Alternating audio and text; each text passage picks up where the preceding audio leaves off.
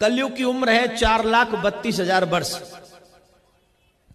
चार चरणों में बांटा गया तो पहला चरण चल रहा है, पहले चरण की उम्र है एक लाख आठ हज़ार वर्ष। जीव की उम्र है सौ वर्ष। पहले चरण में सौ वर्ष, दूसरे चरण में पचास, तीसरे में पच्चीस, चौथे में साढ़े बारह। घोर कलयुग, नौ वर्ष का बच्चा जब दादा और नाना बन जाएगा। कितने वर्ष का? नौ वर्ष का बच्चा जब दादा और नाना बन जाएगा, वो घोर कलयुग होगा। घोर